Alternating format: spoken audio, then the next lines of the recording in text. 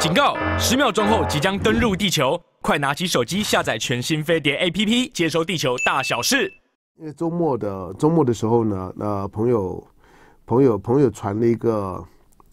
传了一个叫做呢 Political Intelligence 的这个这个呃网网站呢，他们固定呢有有二零二二的这个呃 Sustainability Report，就就是呃全球领导人的支持度的的这个最新的支持度的调查跟会诊，那它叫做呢 Global Leader Approval Ratings。那因为因为我拿到的时候呢还是热腾的，今天今天十十十七号嘛，我拿到的这个呢是十三号做的，呃，就就是周末周末周末前了哈。那这个呢，呃，Global Leader Approval Ratings，呃，世界各国的各国的最新的 last updated 的这个这调查，这个调查我看了之后呢，其其实是是有些呃。特特别的、特别的、特别的感觉的，就是我把一些的现在现在全全球主要领袖的这个买，当然这里面这里面并没有并没有中国大陆的哈，没有没有大陆的调查，大陆大陆要要去要去要去探测民意，商业性的调查我知道是是有是很多的，呃，但是属于政治支持度的调查，那个是不可能的。那就算就就算有，你不你就你就只能够从你的从你的周围去隐约的感知。那今天的今天中国大陆的政治气氛呢，大概是怎么样的气氛？就像这这几天在大陆，当当全面的封锁啦，关键字啦，四通桥啦，北京啦，勇呃勇士啦，那什么什么横布条啦等等，这这些的字眼呢，都是都是被被。呃，关键字呢屏屏蔽，除了屏蔽之外呢，如果有任何暗示性的、暗示性的转发或者隐隐约约提到的，那的你的、你的、你、你的、你的账号呢，都都可能会被暂时停权，那处在一个一个封锁的状态啊。当然也你要去探测呢是非常困难，不过我们可以看看呢世界世界各国的情况。那在这份的这份的这个呃。会诊的这个调查里面，他大概统计了，统计了，我估计有有有十几个国家领袖的支持度。那支持度最高的啊，支持度最高的是莫迪。那莫迪的莫迪的支支持度呢，有百分之呃，他的呃 approve 呢有百分之七十七。他的 disapprove 呢就不支持呢，有百分之十八，有百分之五是没有意见。那支持度呢减掉不支持度呢，是他的他的净支持度呢是百分之是五十九个百分点啊，那个非常高，第一名。但是印度因为这样这样的一个一个一个支持度啊，看起来看起来不太符合西方国家的政治领袖或者政党或者媒体长时间自我安慰说这种支持度呢是。集集权国家才会有的，好吧？但是印度呢，它就是这样这样这样的情况。印度这样的情况，虽然号称呢地球上面的人口呢人口最人口最多的民主国家，可是它的支持度所呈现出来太一样，不太正常。那所谓的不太正常，并不是说呢这些人呢被调查的时候呢是是被操作的、被控制呢，或者是数数字是假的。我不是，当印呃印度我也没去过了。我知道纯粹长时间在关注新闻，那你看到的印度的这个支持度，莫迪是做百分之七十七。我说有有问题是在一个在一个民主自由选举的框架下面，不表示什么事情呢都是 OK 的。在在这个框架下面，就像我们常常常常讲的，希特勒也是透过合法选举上台的。因此，有所谓的合法的选举这件事情，它并不是保证了这个制度本身的运作没有问题，甚至有的有的时候，有的时候呢，多少的多少的不义不公，那甚至于呢残酷杀戮，都是以民主之名那而行之。所以呢，这些呢是要小心。在印度本身，莫迪的高支持度呢，是因为他。他在他在他在非常非常激烈的在操作印度教，所以大家说呢，莫迪呢是一个是一个印度教印度教主义者。那印度教的原教旨主义，印度教的基本教义派，你看他作为一个领导人，他经常他除了他的这个 dress code 是非常印印度教的 dress code。那除了这个 dress code 之呃之外，你你看到你看到莫莫迪到哪里去啊？你有你有看到他穿西装吗？可能可可能有有人看到我我我不晓得我我印印象当中我在。他他在担担任了担任印度总理总理之后的所有的曝光的场合当中，我看到的他都是穿的印度的 dress code。那好，那但是在这样的情况下面，吧百分之七七十七这个比例呢，大概要要降也不太容易。这个七十七的比例大概反映的就是呢，整个的印度的印印度教的教徒的比例。印度，你说印度印度的种族，印度的种族极为复杂。印度的种族，不要说呢，他的他有阶级问题，他有他有他他有这个呢很复杂的种族问问题，他宗教问题，这个这个这个国国家本身呢，要呈现出呢比较强的统合性。那莫迪现在的操作方式呢，就是从印度下手，当然跟他的宗教信仰呢是有关的。但是我说百分之七十七的这个支持度，大概所有的印度教大概大概都已经体现出来了。那剩下的呢，就是其他的宗教的部分，尤尤其是尤尤其是呢，这穆斯林、伊斯兰教的部分，伊啊伊斯兰教大概在印度还有两亿两亿多一点的人口。好，那除了印度以外呢，第二呢，就是在美国旁边的墨西哥，拜登大概很羡慕啦。呃，西方的民民主国家呢，大家看到呢，墨西哥的这个这个总统的支持度百分之六六十八。也很高啊，不支持度百分之二十六，那净支持度呢有有四十二个百分点。墨西哥现在是一个左翼的总的总统啊，那呃墨呃墨西哥已经又又非常久了，那现在呢现在出现了出现了这个左翼的总统支持度呢是非常高的。再来呢是唯一呢可以让让这些呢西方的民民主国国家呢，尤其是是这个呢嗯安格鲁萨克逊呢会会觉得稍微呢还。还值得安慰的是，澳洲的新任的总理呢，阿尔巴尼斯啊。那这阿尔巴尼斯呢，Anthony Albanese，他的他的支持度呢，现在还有百分之五十六啊，不支持度呢是二十九，净支持度呢二十七个百分点，已经呢算是不错了。然后这个呃，Switzerland，Switzerland 呢？瑞士呢百分之五十一，好，所以你现在你现你现在看到的这几个再来呢，意大利，意大利的意大利的这个这新任的新任的这个呃大大右派的这个总理，这个总理呢现在还有百分之五十五的支持度，那瑞典呢百分之五十四，这些呢都是有过半的，这以上的这些呢都都是有有过半的勉强的 OK 的，但是之后呢像像巴西，巴西因为这个月底呢，就是呃总统的第二轮投票。那现任的总统呢，波索纳罗，那波波索纳罗支持度呢四十二，呃不不支持度呢百分之五十。那这个调查也反映了波索纳罗虽然他在他的第一轮的投票，因为第一轮投票的时候，他的他的对手，那这个的前任的前任的总统。呃，因为还没有过半呢，拿到百分之四十八的选票啊，所以还要进行第二轮。那第二轮的时候呢，波波索纳罗呢能不能够过关就很难讲了。不要不要以为他不会过过关了，因为因为在在巴西啊，福音教派的力量呢，这个就是说呢，保守的基督教教派呢，福音教派，福音教派呢，在巴西呢就是波索纳罗的基本盘，在美国呢就是川普的基本盘。那这些呢？福音福音教的教派的力量呢是很是很大的。那因此呢，波索纳罗现在看起来虽然支持度只有百分之四十二，那跟加拿大的这个总理呢杜鲁多或或或者呢美国总统呢拜登同登同同分，那都是呢四四十二个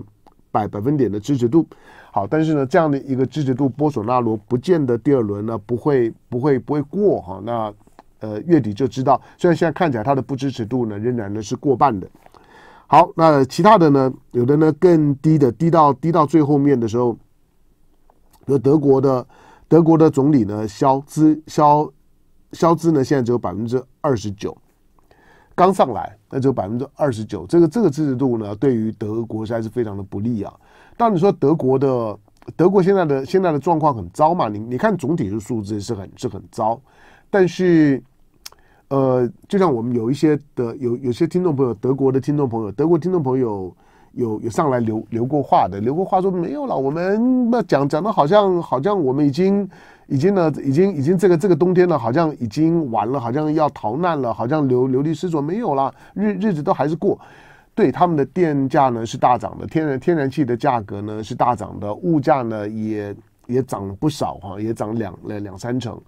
不过呃，德国比较特别，就是说，因为因为它的它长时间它的物价都都偏低，这个国家因为过去的管理是非常好的，就德国德国德国在这国家。它有它很很多值得值得我们佩服跟学习的地方，所以大陆方面来讲呢，一直隐隐然呢把德国呢当做是自己的，就是说国家治理的标杆参考的坐标。因此，即使现在现在经历了经历了俄乌战争之后呢，整个欧洲体系的动荡，那大部分的国家。都好像非常非常惨，像英国，英国，英国现在呢，特拉斯到底还能不能撑到撑多久？能不能撑到今年底？因为他已经把他的财财政部长，财政部长才做了几天而已，就被他干掉了。好，那呃，当他的待遇最高扬，那像那特拉斯呢，现在把英国，英国，英国搞得非常非常的惨，他的他的支持度呢，只有，哎，我看了一下，他的特拉斯的支持度，来看一下。呃，我看，哎，我之前有我看到，哎，这边这边没没看到，反而没有没有没有看到呢。特拉斯的支这支持度，之前呢之前是有看到的，啊呃有有有有有，特拉斯的支持度呢只有十六，不支持度呢是七十一个百分点，特拉斯的支持度呢是负五十六个百分点，那呃跟他差不多差不多糟的是南韩。南韩的总统那尹锡悦，尹锡悦呢，虽然就支持度来讲呢，比特拉斯呢高一点点，十八个百分点，可是呢，他的不支持度呢到七十四个百分点。尹锡悦，尹锡悦这个支持度在韩国已经几乎到了过街老鼠的地步啊。他跟特拉斯呢有异曲同工之妙，就是因为尹锡悦五月九号才登基啊。五月九号到现在为止，算五个月而已啊！五个月就把自己搞到搞到这么的臭啊，搞到天怒人怨啊！那两成的支持度不到。那特拉斯呢上来了之后呢，一个一个月的时候，其实不到一个月啊，他就能跌到了两成以下了，就是十六个百分点。两个呃，真的是情同情同姐姐弟啊！就就是现在不只是在。在主要的国家，在在在全世界，大概呢，领导人他大概都垫底的。好，那呃，捷克啊等等啊，这这些呢，也都没有好到哪哪里去。我只说现在，现在全世界大部分的国家的领袖啊，现在的状况呢都很惨。刚上来的蜜月期呢都很短。那英国现在很动荡，但是我刚刚说英国虽然很糟，但是德国的状况还不算。我说招不是看数字。很多时候，我们我们在看的时候，看一些的看一些的国家状态的时候，是看它的总体数字，因为那个总体数数字终究是你国家管理以及你的你的国家必须要去应对的。比如通膨非常高，比如说呢，能源能源价格非常非常高，那呃，天然气呢，天然气涨个涨个涨个四五倍，油价呢涨个呢七八倍。那这个呢，对对对，一般的民生消费当然有影响。就是其实你说你说的德国人没有感觉吗？有，就是比如说比如说呢，电价，那电价呢，这电价大概大概都都涨了三呃三四倍。那呃，但是比天然气好一点。那天然气的价格呢，可能涨涨个九九倍十倍都有了。所以今年冬天的时候，宁可用电，那减的减少呢用用天然气供暖，或者天然气呢本身。呃，如果如果很贵的时候呢，省一点，那晚晚晚上睡觉的时候呢，就盖电毯吧，那就穿暖一点吧。那德国本身，因为它过去长时间的社会稳定啊，物价呢相对的偏低，国民所得呢也 OK，所以你说他们是不是付不起电费？还不至于啦，它它不是第三世界国家，大部分的大部分的欧欧洲国家呢都一样，就是它的因为它的经济基础呢是不错的，那再加上大部分呢都是准社会福利国家，像是北欧。那这种的这种的国家本身呢，平常税呢非常非常重，但是呢，当当他们真的有有困难的时候呢，政府本身呢在社会福利方面，那所提供的贴补呢也都是非常丰厚的。而这个时候呢，就是国家呢在养老百姓、在撑老百姓的时候，所以你不要以为他们的日日子非常非常糟。固然你也会看到一些抗议，但之所以如果类似这种的这种的消费物价啦、能源价格的上涨，如果呢在第三世界国家的话，大概呢都已经出现非常严重的社会动乱了。但是在在欧洲国家来讲，大体上面。社会面来讲都还是稳定的，但如果持续恶化，那能够能够撑多久，那就不那就不知道了哈。不过就是告诉你，今天的今天的这个世界，就算是先进国家来讲，没有没有几个是好过的。来进广告，回头再来其他。啊，来，咱们的金融本在哪里啊？两千四哈，还在还在还在还在帮我帮我关关心。好，我们现在四千六百位的观众在我们线上。哎，周周末过得好吗？嗯。因为台湾，我我我住的地方呢，在下大雨，就是那个台风的味道还蛮浓厚的。如果如果你在阳明山，哇，那个那个台风的感觉是很明显的。好，纽约、香港、福州人说“子”什么意思？好，这明明早。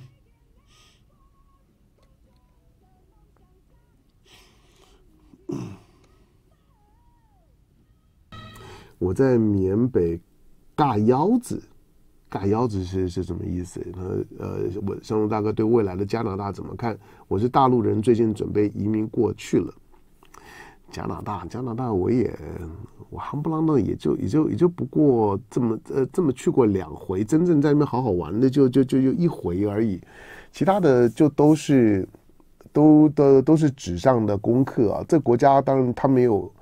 他他有他有枪管啊，所以他的他的社会治安呢是不错的。第二个，基本上面，呃，对对对不同的族族群呢是和善的，呃，你也不会不会太担心。就就是美国呢一天到晚枪枪支暴力，天天呢最最少一百多个人死于枪下，这个在加拿大就不会不会碰到。再来，它的环环境的治理呢是很好的。那人人不多啊，它是三千多万的人口，但是地球上面的，地球上面面面积第二大的国家，呃，未来还那物产啊各方面都都不错，生活环境是很好的啦。那如果是作为一个移民环境来讲呢，是很 OK 的。那我之前因为在意它的一些的一些的很很很很漂亮的这些的国家公园啊，像是像 ban 法这些地方，那去玩的时候呢，我记得我我那那次回来的时候，我也讲说。我在 b a n f 那个地方说，嗯，就是这这里了，就这里是什么意思？就就就是，如果老子如果如果如果真真的突然间走了呢？如果可以的话呢，就就在这儿，就烧一烧呢，撒一撒就就可以了。好，那这边呢，那边就就很很漂亮。你你看你看过那个电影，呃，《玛丽莲梦露》的那那部那部很有名的《大江东去》嘛？那个那《大江东去》的那那部电影，那那个大江。的那个那个转弯的地方呢，就就是在呃在那儿，你你可以到到那个景点去看一看，就哎那个那电影的场景就是历历如在目前。好，那我们我们的听众朋友呢，不管在哪里呢，都跟大家呢说早安啊！现在呢四千七百多位的观众呢，在我们的在我们的线上，呃。待待会儿，待会儿九点半，好，那呃，陈凤金回我回来，所以一些不管是台湾的选举啦，或者是或者是二十大了，这个待会儿跟见面跟凤金见面之后呢，我们再再再详细的讨论一下，来聊一下聊一下这个马斯克，因为我我昨天我看到马斯克的那个推文啊，那个推文哎，那个哎呀，好像算那英英英文的我就就不找了。好，那他在他在他的推特上面那个那个推文啊？那个推文很短啊，不过不过是他的最近的最近的推文里面这几天的推文里面呢，很爆火的，就是他一他一推的哇哒哒哒哒哒，就就是那个留留言啊转转发，然后然后然后按按按赞啊，啪啪就接着跳，因为马斯克我说他有推特。他他这样可能要要花很多钱买推特嘛，反正他他对推特反正就在那边这边呃撩一下撩一下的，那推特呢？现在的之前他要买推特的时候，他质疑说：“哎，推推特你要你要详详细的跟我跟我讲，你到到底里面有多少是僵尸用户？那个呢，看起来呢好像好像呢好像用户很很多，但实际上呢很多呢都都都是僵尸用户。那推特私底下有有有有没有给他什么详细的数字？我我不知道了。但是推特呢现在呢比较活跃的用户大概三亿多，三亿多呢那。马斯克本人呢？马斯克本人的追踪户，他还不是推特的老板，他不是靠他要买推特才有这么多追踪。他的追踪户呢本来就很多，他的追踪户有一亿多，现在大概大概快一亿一千万。换句话说，推特的用户里面每三个就有一个呢在追马斯克，那包括我。当然我我有我有我说过我有我有追几十个，那呃全世界。我个人比较关心的，当然有一些政治人物啦、媒媒体啦，这些呢，大概都是我固定的追踪的对象。每天看一看了之后，大概嗯，重要的一些的国际的新闻事件脉络八九不离十。就像大陆的这个四通桥的事，呃，北京的四通桥的事儿，在推特推特上上面呢，当然那个那个那个讨论啊，就转发那非常非常的多，在大陆的朋友是看不到的。好，那呃。马马斯克呢，在昨昨天的昨天的那那条，就是说，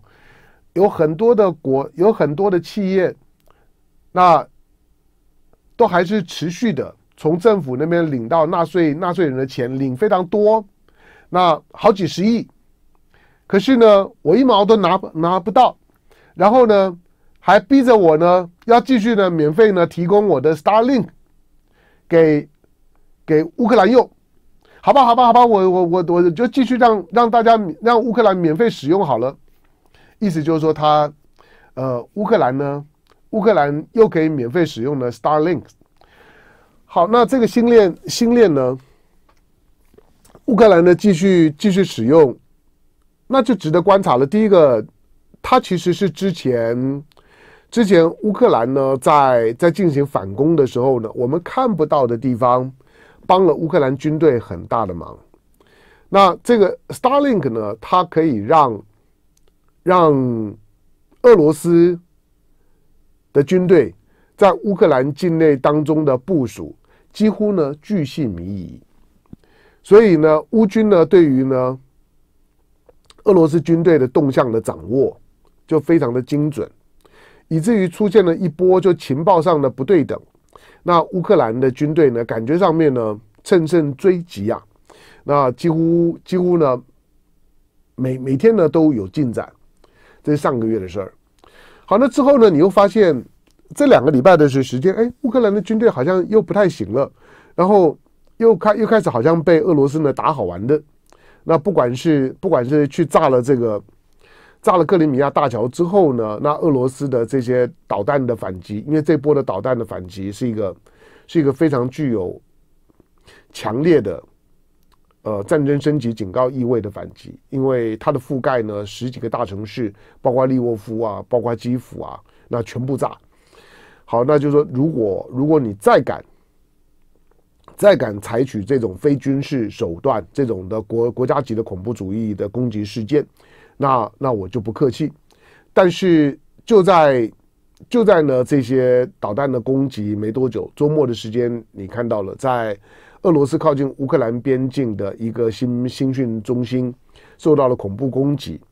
那有两个枪枪手呢对着这个新训中心里面呢正在新训刚报道没多久的这些新兵，那那发动了攻击。这攻击呢导致呢十多名的新训中心的新兵。才刚报道没多久，都还没有机会呢进到战场呢，就死亡了。那这两名枪枪手呢，也被击被击毙。那呃，当时身份呢清查了之后呢，当然还是认认定啊，这是乌克兰的所发动的，发动在俄罗斯境内的恐怖袭袭击。虽然看起来美国呢是不断的警告乌克兰说呢，绝对不可以呢把这些呢把这战争冲突那呃导引到呢。俄罗斯的境内，那避免了俄罗斯呢会引发引发呢更激烈的反应。可是这些的在俄罗斯境内的恐怖攻击，从杜金的女儿杜金娜被暗杀事件之后层出不穷。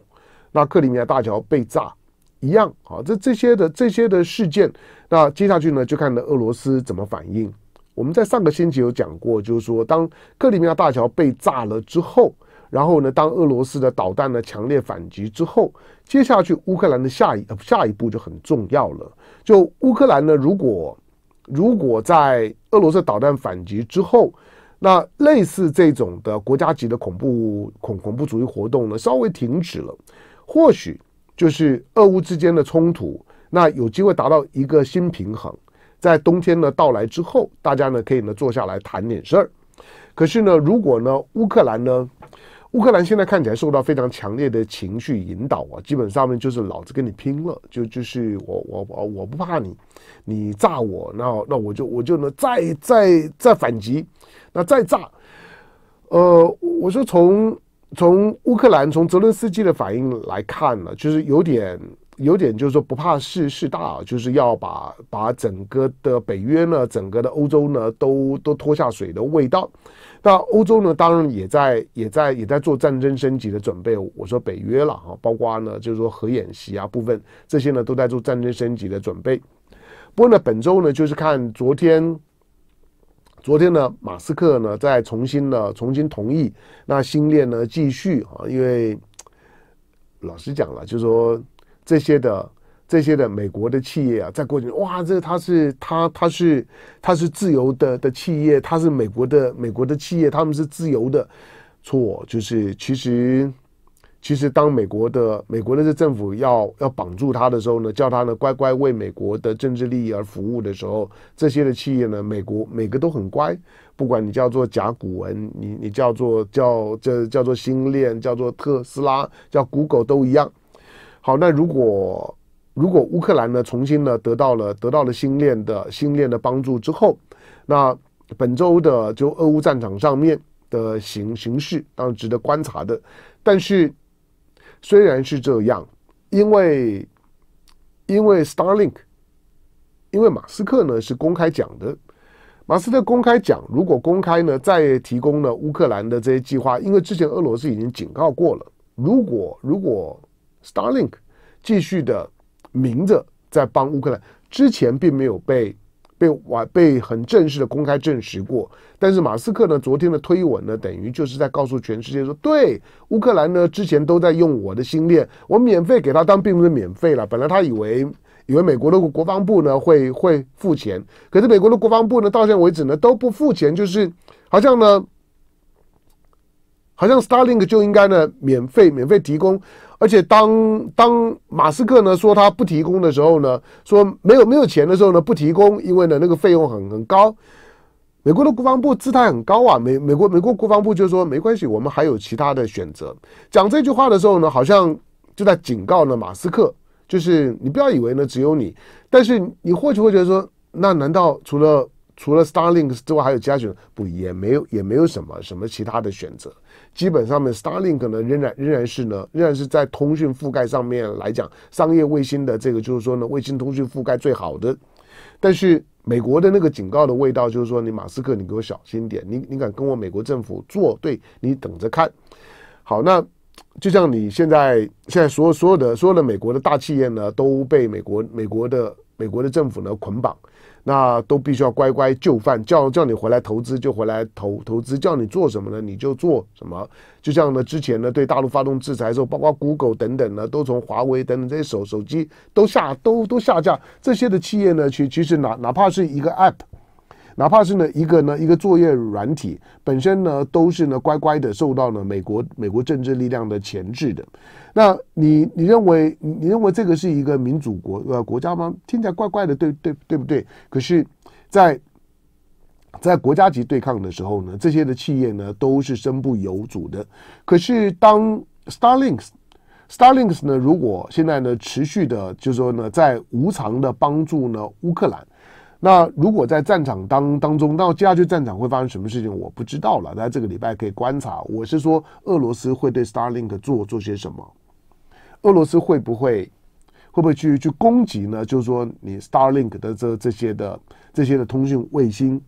在太空当中来来讲呢，大概呢，大概有两万颗以上的这种的小卫星 Starlinks 密密麻麻的分分布，但是呢，这些卫星的稳定性呢并不高。其实这些卫卫星量虽然很多，但是技术等级呢并不见得很高。上去了之后呢，掉下来的机会呢很大，所以它经常都在在补充。那如果如果受到了俄罗斯的干扰或者是摧毁，那对星链会发生什么影响？不知道，因为毕竟你从乌克兰，从从马斯克呢之前呢，对于乌克兰的俄乌战争该如何寻求终极解决的提案。以及之后呢，对台湾两岸之间的问题呢，该如何终极解决的提案，你看得出来呢？马斯克并不想搅进政治这个浑水里面，他毕竟是个生意人，是个科技人。那对于作为搅进这种的浑水呢，不感兴趣。不过呢，如果如果新链呢受迫，别要继续呢对乌克兰那提供了这种帮助了之后，我我我觉得在。在国际政治的观察点，就是俄罗斯呢，如果对于新链的这些呢商用卫星开始呢进行干扰或者攻击的时候，那就是另外一个一个一个全新的全新的状况了。就是这种的大型的国际的国际的商业机构被迫呢卷入那这种的国家级的竞争。战争当当中，这在过去呢是没有的。这跟呢正式宣战了之后呢，国家的总动员的征征调，那这是呢不一样的情况。好，那这个马斯克呢昨昨天说呢，不断的烧烧钱呢，没有办法呢再出资啊。不过呢，十五号的时候呢，他又他又把文章删了。他说持续亏损呢，也会呢继续呢提供资金。马斯克呢也也公开讲，他说俄罗斯正在试图要杀死呢 Starlink。这个呢，这个是俄乌战争呢，接下去呢要关注的部分。另外呢，我们我们可以看一下，就是说，呃，让这个这个呢，这个是小呃，不算是大新闻啦，就是澳洲的前总理，澳洲的前总理呢基廷。那基廷他在周末的时候接受接受访问的时候呢，讲讲的话，他他说呢，这个是世界啊。中美日之间呢，应该好好的坐下来谈。同时，中美之间应该慢慢的形成一种的一种的政治的默契。这个世界，中美共共管。但他并没有讲的这么的清楚，就是东方由中国呢去主导，西方由美国去主导。不过呢，这个基廷呢，他他毕竟是呢澳洲的前总理，又又又是这种的这种的大大白昂萨。那他在讲这些话的时候。似乎呢，在铺成一个澳洲的世界观，那认识到呢，这个世界的本身的冲突的机会呢越来越高，因此他认为避免冲突的时候的终极解决之道，美国当然不会管这个了。现在美国呢，就只是在看呢 G20 的时候能不能跟习近平见面，不过以现在气氛来看，见面的机会越来越低了。